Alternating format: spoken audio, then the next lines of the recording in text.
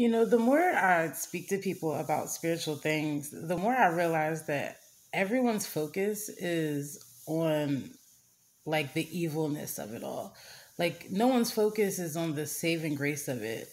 Like people are so quick to believe in the demonic, but then they can't fathom the saving grace. They're so quick to believe that they're attacked at night by the demons that come into their room, but they have no belief in the fact that the Lord sends angels to watch over you while you sleep.